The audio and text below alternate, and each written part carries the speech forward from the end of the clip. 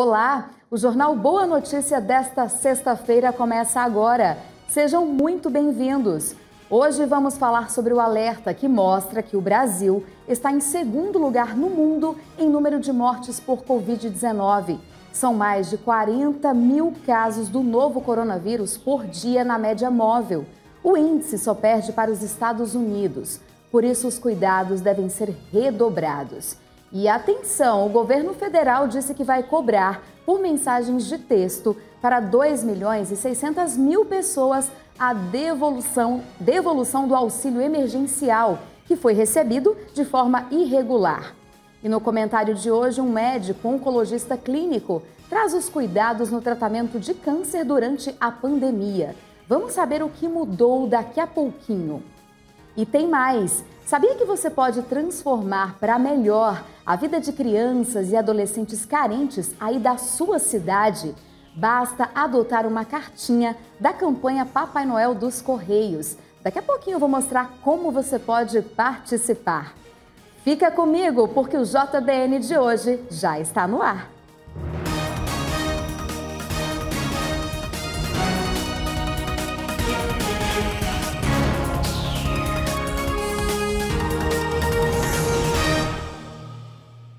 O Brasil tem mais de 40 mil casos do novo coronavírus por dia na média móvel. Essa é a maior marca desde agosto. É fato, a doença ainda não acabou e é preciso que a gente continue se cuidando.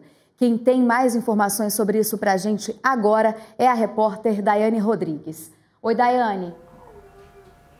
Olá, Carol. Embora muitos brasileiros tenham a sensação de segurança por achar que a pandemia da Covid-19 chegou ao fim devido às medidas de flexibilização em todos os estados, os especialistas indicam que o momento ainda é delicado. Por isso é preciso muito cuidado. Só para se ter uma ideia, Carol, o Brasil continua em segundo lugar no mundo em número de mortes pela doença, ficando atrás apenas dos Estados Unidos. Além disso, já são mais de 6 milhões de casos confirmados em nove meses de pandemia. É uma situação difícil, já que o nosso país tem mais de 40 mil casos de Covid por dia na média móvel, a maior marca desde agosto. Então é importante ficar atento e redobrar os cuidados. Já foi comprovado que a principal forma de contrair o vírus é levar as mãos contaminadas ao nariz, aos olhos e à boca. Por isso, a recomendação número 1 um é lavar as mãos constantemente e evitar tocar o rosto. Caso não seja possível lavar as mãos, carregue sempre um álcool em gel. Outra recomendação fundamental é o uso de máscara. Muita gente deixou de usar, mas não é o correto a se fazer no momento. A máscara impede que partículas maiores de secreção contaminadas cheguem até o rosto da pessoa e evita que o doente espalhe secreções pelo ambiente. Ao usar a máscara, você cuida de você e do próximo. Vale lembrar também que ao tossir ou espirrar, a orientação é de sempre cobrir o nariz e a boca com um lenço de papel ou com o braço, nunca as mãos. Ah, e nada de retirar a máscara para fazer isso. Também é fundamental evitar grandes multidões e contatos físicos. Agora que todos sabemos como se prevenir, é só colocar essas ações de prevenção em prática Afinal, mesmo com as notícias de vacinas chegando a todo momento, não podemos nos descuidar, né, Carol? É verdade, sim, Daiane. Muito obrigada pelas suas informações. E vamos saber agora o que é destaque no noticiário internacional. Acompanhe comigo. Professores russos receberam vacinas contra a Covid-19 ontem, dia 3 de dezembro quando o país anunciou o início de um programa de vacinação voluntária em grande escala contra o coronavírus. O presidente Vladimir Putin ordenou que a vacinação dos demais professores, assistentes médicos e sociais comece na próxima semana em toda a Rússia. Putin disse que a Rússia teria produzido 2 milhões de doses de vacinas nos próximos dias. Um hospital em Domodedovo, uma cidade na região de Moscou, disse que 100 de seus médicos já receberam duas injeções da vacina. E agora ela está disponível não apenas para professores, mas também para o público em geral. O Sputnik V, uma das duas vacinas de fabricação russa que recebeu aprovação regulatória nacional até agora, apesar dos ensaios clínicos estarem incompletos, requer duas injeções. Uma terceira vacina também está em andamento. A Rússia disse no mês passado que o Sputnik V foi 92% eficaz na proteção de pessoas contra a Covid-19. Os ex-presidentes dos Estados Unidos, Barack Obama, George Bush e Bill Clinton, se ofereceram para divulgar suas fotos na televisão para ajudar a demonstrar a segurança da vacina contra a Covid-19, informou a CNN, citando assessores de imprensa de Bush e Clinton e uma entrevista de Obama, em que o ex-presidente diz: As pessoas precisam saber que confio na ciência. As mortes nos Estados Unidos pela pandemia de coronavírus aumentaram para 2 mil casos por dois dias consecutivos, à medida que a estação mais perigosa do ano se aproxima, sobrecarregando um sistema de saúde já superlotado. O número de mortos atingiu seu segundo maior nível na última quarta-feira, com 2.811 vidas perdidas, de acordo com uma contagem de dados oficiais da Reuters, abaixo do recorde de 15 de abril. Quase 200 mil novos casos nos Estados Unidos foram notificados no dia 2 de dezembro, com registro de hospitalizações de 100 mil pacientes.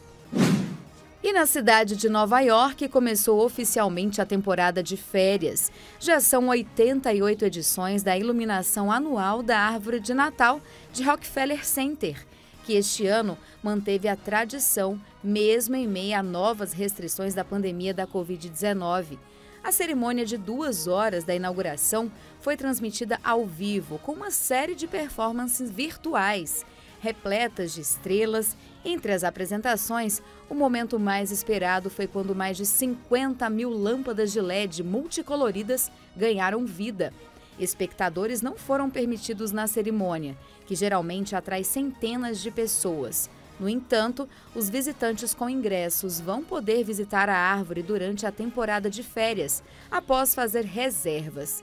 A árvore nova-iorquina deste ano vai continuar em exibição até o início de janeiro de 2021.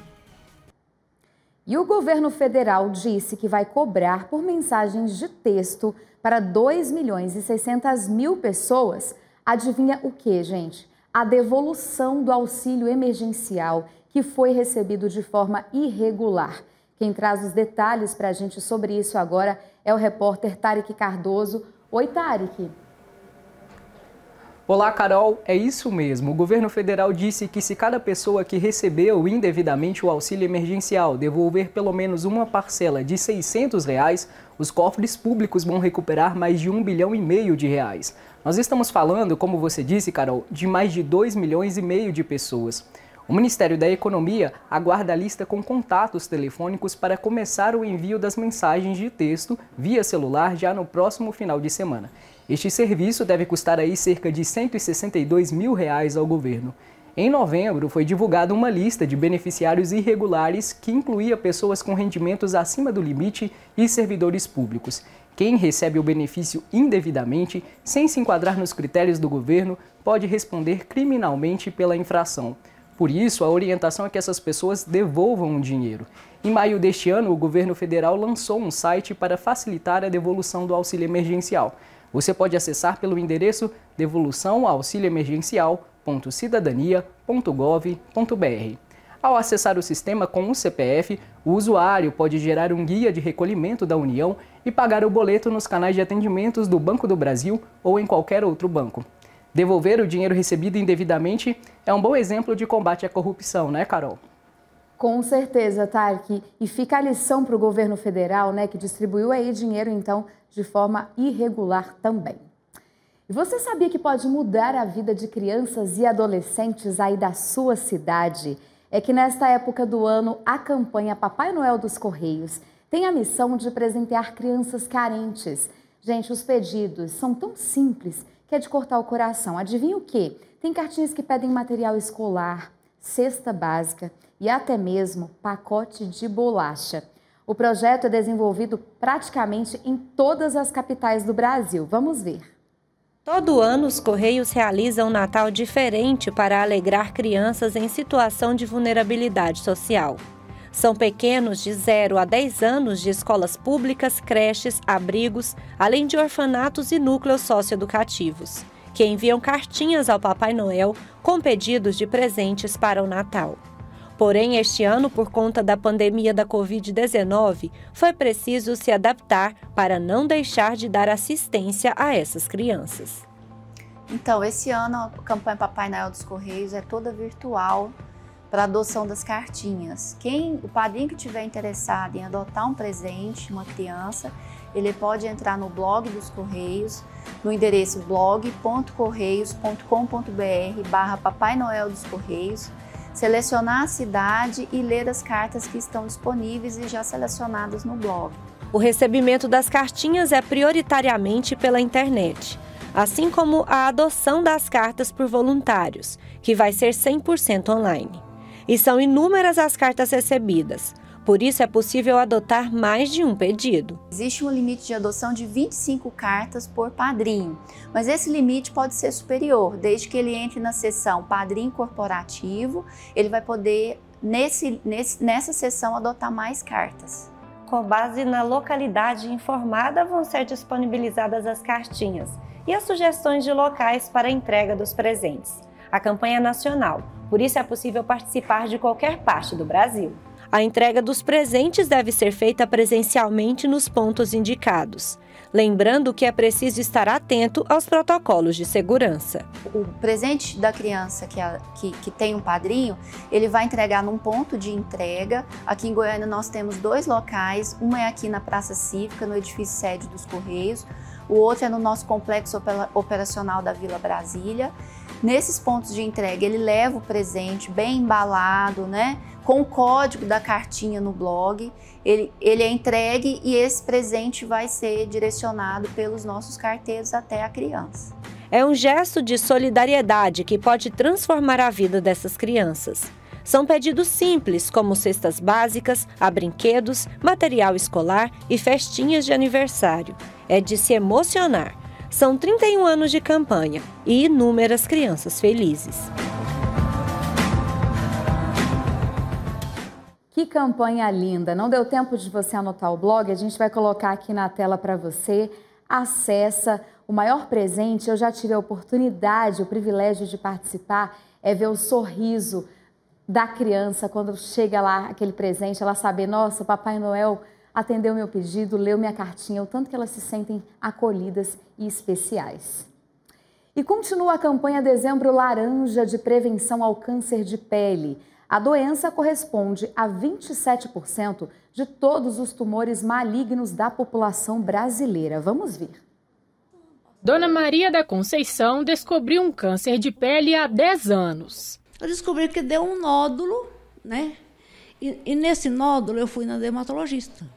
E ela falou assim que era só passar uma pomada. E eu passei quase, quase 12, 60 dias. E nisso foi só evoluindo, evoluindo, evoluindo. Aí eu fui no oncologista, aí ele falou, vamos fazer a biópsia. E na biópsia já constatou. Desde então, ela faz acompanhamento médico e usa muito protetor solar. Primeira cirurgia, muito protetor solar e a radioterapia. De acordo com o Instituto Nacional do Câncer, em 2020 os números de câncer de pele no Brasil são preocupantes. A doença corresponde a 27% de todos os tumores malignos do país. Há sete anos, a Sociedade Brasileira de Dermatologia realiza o Dezembro Laranja, mês de conscientização para a prevenção ao câncer de pele.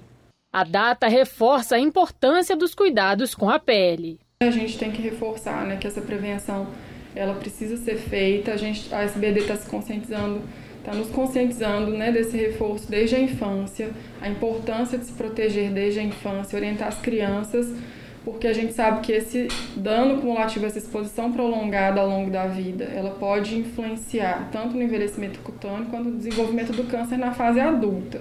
Então, procurar sempre usar boné, óculos de proteção, o fotoprotetor solar, né? Para estar tá passando, reaplicando na pele, o FPS acima de 30 já é fundamental.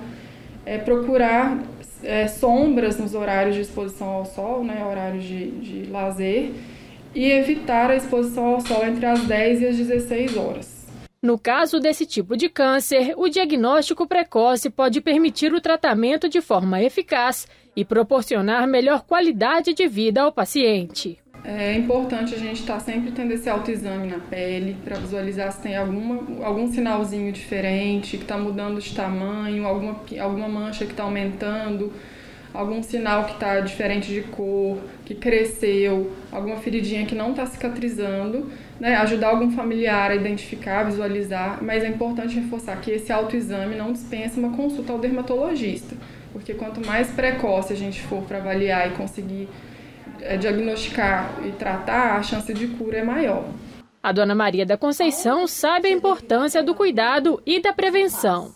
Não é você falar assim, vou comprar um produto caro, que o protetor solar é caro, mas é melhor do que você lutar contra uma doença né? Então vamos usar o protetor solar e prevenir e não pegar sol. Fica aí um tanto de dica importante. E a seguir você vai conhecer o Drive-Thru do Bem, um projeto social realizado na paróquia São Luís Gonzaga, lá em Brusque, em Santa Catarina. Fica aí, a gente volta já já.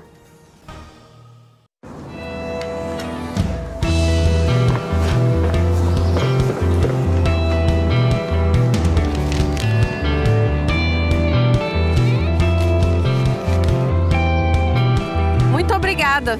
Tenha um bom dia.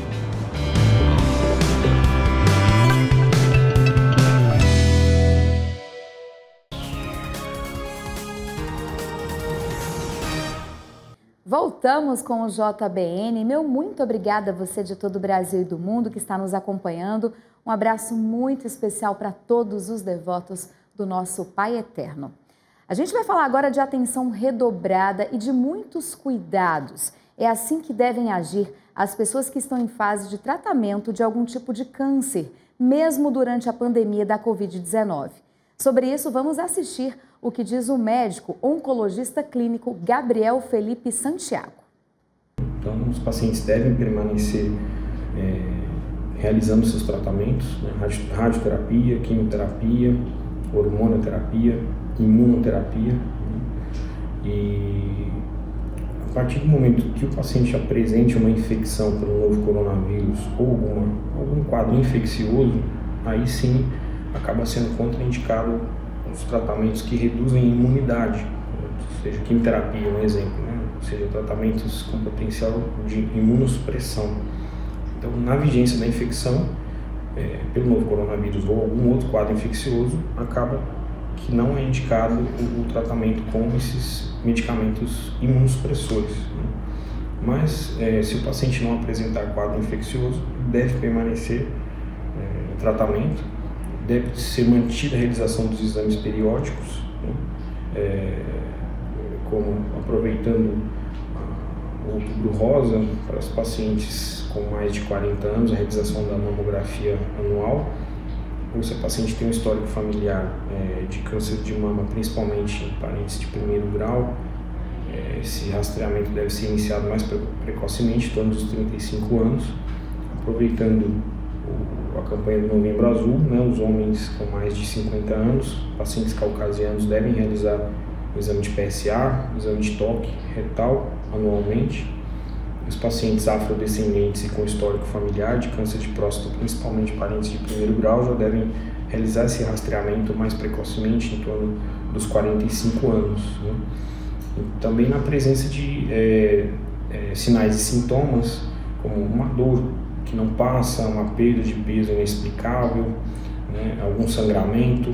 É, é importante que o paciente realize os exames periódicos, né? porque é sempre é importante a, a detecção precoce de um câncer, é, uma vez que é, através da, do diagnóstico nas fases iniciais as chances de cura são muito elevadas.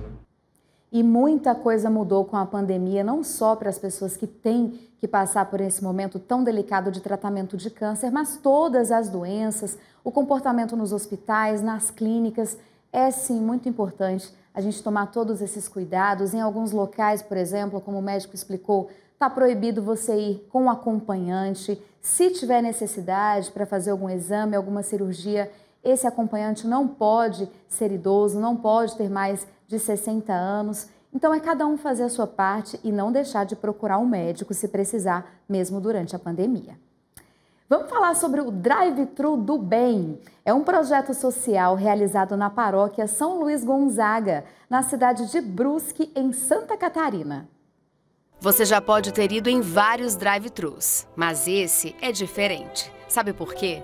Porque nesse projeto específico, que usa a expressão em inglês, que significa através do carro, o objetivo é a solidariedade.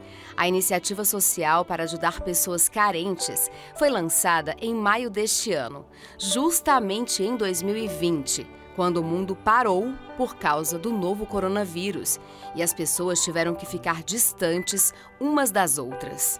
E é justamente nesse ano atípico, num período difícil, um ano de pandemia da Covid-19, que surgiu essa ideia muito legal. Para a gente saber como funciona o drive-thru do bem, eu vou conversar agora com o padre Diomar Romanive, ele que é pároco lá da paróquia de São Luís Gonzaga, em Brusque, Santa Catarina. Padre, obrigada pela sua participação. Conta pra gente como é que surgiu essa ideia. Eu primeiro agradeço né, a oportunidade de estar partilhando da iniciativa do Drive Thru do Bem né, e de poder partilhar dessa experiência tão bonita que nós temos feito aqui nesse tempo de pandemia.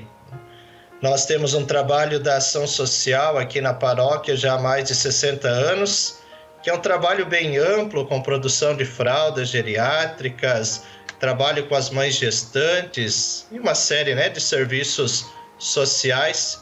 E um dos elementos é essa parte de acompanhamento das famílias mais carentes. Né? Nós temos uma assistente social e uma equipe de voluntários que fazem esse trabalho anualmente.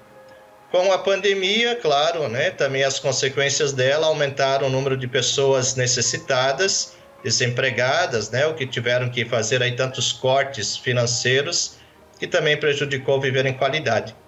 Então, o movimento de Emaús, que é um movimento juvenil, trouxe essa ideia de realizar o drive-thru do bem, que consiste em motivar as pessoas a virem com o seu carro, seguindo aí o estacionamento da igreja matriz, e no trajeto, além de ler algumas frases bíblicas, algumas motivações de agradecimento, trazer até o lugar né, reservado ali perto da cozinha da ação social alimentos e produtos de higiene e limpeza. E assim nós fizemos já quatro vezes. Só em uma edição do Drive-Thru do Bem, mais de 4 toneladas de alimentos e produtos de higiene e limpeza foram doados no estacionamento da paróquia São Luís Gonzaga. E mesmo quem não tem nenhum veículo participou para ajudar ou ser ajudado. Me chamou a atenção uma senhora já de bastante idade que ela subiu toda a escadaria da igreja, que não são poucos degraus, para vir até o estacionamento com suas quatro sacolinhas e disse: Eu quero participar também desse momento de generosidade. A ação social tem ganhado cada vez mais reforço, tanta generosidade que o padre Diomar traduz de forma especial. Na verdade, se misturam histórias de pessoas que, na sua generosidade, né, se organizam para doar, e eu costumo dizer que a generosidade dessas pessoas é um sinal da providência para quem não tem, né? Porque a providência de Deus passa também pela generosidade do coração e da mão de tantas pessoas. No mesmo tempo, né, reconheço a generosidade das equipes. Né? Para isso também, claro, são equipes bastante reduzidas por causa da aglomeração e todas as limitações que nós temos, mas pessoas que também, né, mesmo cuidando da sua saúde, se dispõe a servir, a acolher. Eu agradeço, né? Agradeço a Deus também por inspirar as pessoas, né? Essa ideia é uma ideia de alguém leigo, de um homem e mulher de fé, quer dizer, também, né? Nem tudo passa pelo padre, né? O padre aqui é um animador, um motivador e que a gente possa repetir não só esse gesto, mas tantos outros bonitos que nós temos visto nesse tempo de pandemia, para além da pandemia.